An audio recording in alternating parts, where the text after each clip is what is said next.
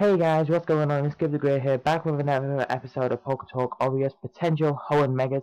And in today's episode, you guys will be talking about a potential Mega Magcargo. Now, since Slugma, when Slugma was introduced into the Hoenn region, everyone thought it was going to be an absolute rubbish Pokemon. I mean, it's Magcargo is one of those Pokemon that is underest, underestimated and not used at all.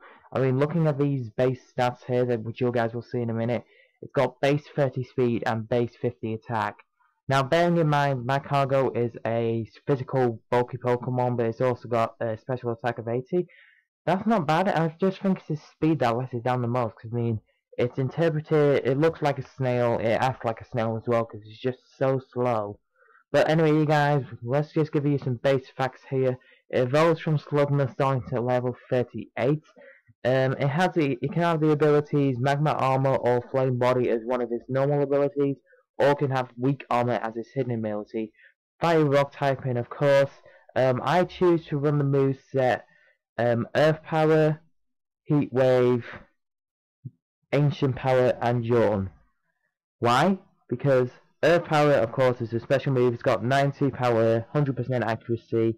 Heat Wave, it can hit both opponents so it's 95 power, but it's only 90 accuracy, but like I say, it can hit both Pokemon. It has the potential to hit both Pokemon opposite you. Ancient Power, just because it's a special Rock-type move, and, I mean, yes, Power, power Gem is a special Rock-type move, but of course you can't get that by level up, and you can't certainly breed it onto him either, but yes, Ancient Power is there just so you can um, raise your stats up a bit, and then Yawn is there because who doesn't run a Yawn Magcargo, being the slowest thing on your field, and the one thing you want to do is get a major threat out of there, so you just yawn them. And then hopefully they'll swap out unless they stay in, hoping they can get a first turn wake up, which is highly unlikely with yawn. But yes, there you go. So guys, um, the items I choose to run on a um, modest Magcargo would be a flame plate. Now I know it's nothing special. I mean, I know it's meant for Arceus, and um, yeah, flame plate just it, um, reduce increase, not reduces, increases firepower by 20%. So it's nothing special, just there for my Magcargo really. Now if we look at the designs for Mega Magcargo, some of them I would say are a bit ambitious, but um, a bit unexpected for my liking. I mean, yeah, some of them are similar to normal Magcargo's design, and some of them are a bit radical too much for my styling. But yeah, like you'll see here, the end product, I would just like a Magcargo, that a Mega Magcargo that breaks the shell on the back just a little bit, so we can see some of that dazzling sunlight. Because I mean, I'm just looking at um, Magcargo's Pokedex description here from Pokemon X and Pokemon Y. It's um, it says its brittle shell occasionally spouts intense flames that circulate around throughout its body. Its body is as hot as lava and is always billowing. Flames will occasionally burst from its shell. Hmm.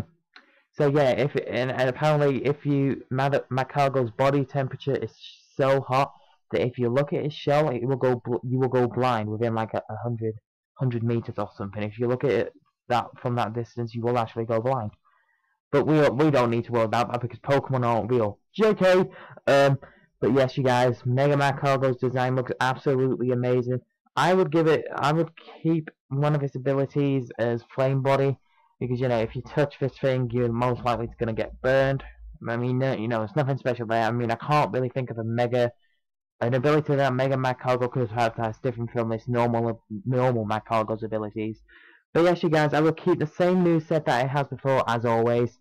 Um, and as for its um, typing I would keep it fire rock because it's still got a little bit of shell on its back and the stab Ancient Power is nothing to be messed around with now when it comes to his stats, obviously the shell is kind of broken, so I would up his speed a bit. I would double his speed actually to 60, just so he gains just a little bit of power. Reduce his bulk, defense bulk a bit by um, 20, taking it down to 100, and his special defense as well, taking that down to 60. So I'll put um, reduce 20 points from that. That gives us 10 points more than when we started because you know, if you think about it, it's got um, minus minus 20 defense, minus 20 special defense, and mine um, and plus 30 attack. So speed, sorry. So we've got 110 points to play with. Honestly, I would put. Um, I know Game Freak won't do anything like this, but honestly, I would put um, 70 points towards its special attack, and then I think 90 points towards its attack.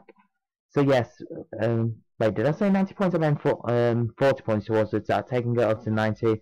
So there you go, you guys. We have 150 special attack and 90 physical attack, 100 defense, 160 special defense, and 60 speed. I'm taking the total up to a nice round for 510. I mean, yes, it's less than normal Megas would have, and you know, Mega Magcargo is Magcargo is really an underestimated Pokemon. You know, I've never seen a Wi-Fi battle that uses a Magcargo, probably because it's so underestimated. And in my in my opinion, opinion, it's um it's one of the worst Pokemon that um Game Freak have put, brought into the game. But I think a Mega Magcargo would make Magcargo just a lot, a tiny bit better. I mean, most people could choose not to run a Mega Magcargo just for the purpose that it is underused and not used, pr practically not used at all. But you know, if Game Freak implemented Mega Magcargo into the game, that'll be fine by me because it gets me a chance to try it out. But anyway, you guys, there we go. Nothing special this week, just a Magcargo. Um, I'm running out of Pokemon. As you can tell, I'm kind of running out of Pokemon from the Hoenn region that have um, that already had Mega Evolutions in X and Y. So if I seem like I'm using Pokemon that uh, um, seem a bit shitty in game and underused, it's because I'm running out of ideas. But yeah, next week, you guys, I think we'll be talking about a Mega Grumpig. You know, uh, Spoink's evolution isn't that used. I mean, I didn't think that Spoink would evolve into Grumpig, but there we go. That's that's for next Thursday's episode. So hopefully you guys did enjoy this episode. Please leave a like if you think Mega Magcargo should be a thing. Um, comment with your feedback on why you think it should or shouldn't be a thing. And as always, you guys, subscribe for all the latest Ultra Tech content. So thank you guys so much for watching this episode of Poke Talk Obvious. You guys are doing amazing. I've been good to great. This is Nice signing off.